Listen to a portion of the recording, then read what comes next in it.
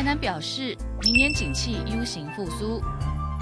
上一次景气的复苏是一个 V 字形，啊，这次景气的复苏它是一个 U 字形。今年一点一，明年三点几，那就是力道也不小了，一比三就是力道不小了。中央银行总裁彭淮南昨天出席立法院财委会，乐观看待台湾明年经济成长率将回升至百分之三以上，但他认为这次景气复苏呈现 U 型反弹，力道不如金融海啸后的 V 型反弹。包括台积电等科技大厂则认为。明年第二季起会有比较明显的成长。台大经济系教授林向凯说：“虽然外界认为明年美国、中国渴望逐渐复苏，但整体国际经济局势仍疲弱。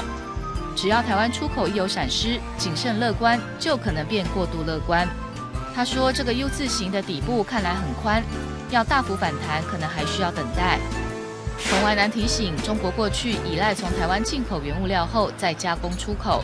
如今中国已改变产业发展方向，台商需要注意产业链是否发生断裂问题，失去下游订单。他也重申，台湾是小型开放经济体，有如一条小船。美国透过货币量化宽松输出美元，就像航空母舰从旁开过去，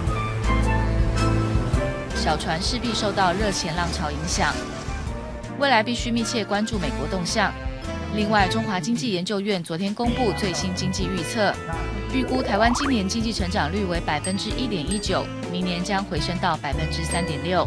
董新闻综合报道。